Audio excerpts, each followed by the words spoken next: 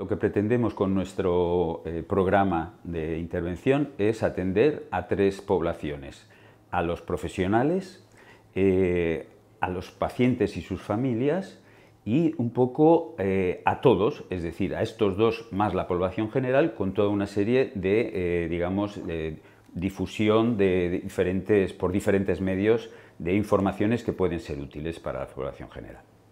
Para los profesionales es fundamental porque eh, los enfrenta la impotencia de no poder con sus medios eh, resolver como quisieran las eh, situaciones que se plantean.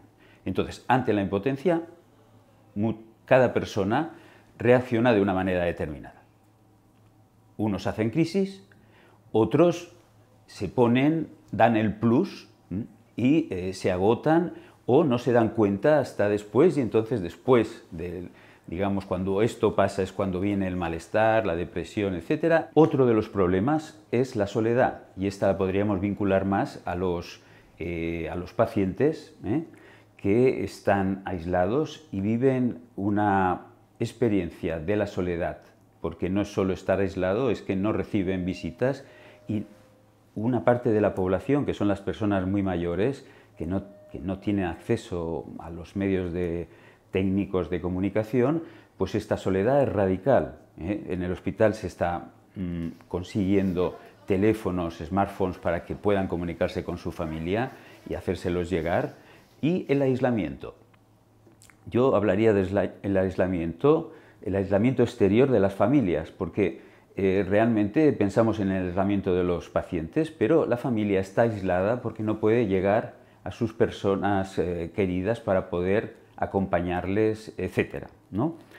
Y por último eh, diría el dolor, hablaría del dolor, ¿no? que el dolor me parece eh, el duelo, cuando eh, digamos, los pacientes pueden, los, pacientes, los familiares pueden fallecer y entonces qué hacer en estos momentos, cómo comunicarlos o cómo escuchar las peticiones de los pacientes que creo que hay que escuchar para poder después hacer una intervención que, no sea, eh, que sea, digamos, orientada a partir de las coordenadas, la, forma de ser de cada persona. ¿eh? Porque hay personas que, eh, no sé, que en un momento antes de morir lo que les preocupa es que no le dijo no sé qué cosa a, un familiar suyo.